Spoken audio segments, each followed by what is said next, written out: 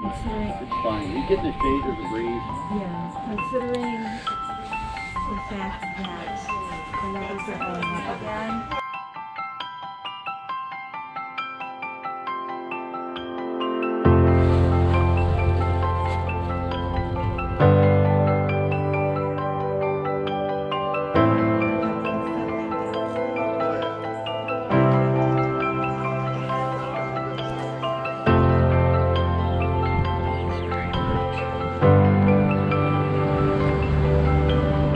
Again, after supper, Jesus took the cup, gave thanks, and gave it to all for all to drink, saying, This cup is the new covenant in my blood, shed for you for the forgiveness of your sin.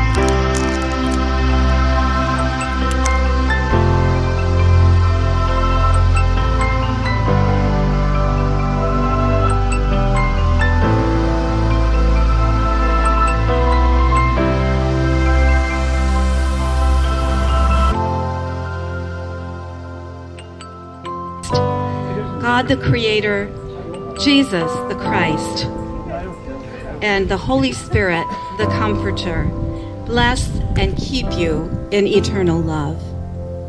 Amen.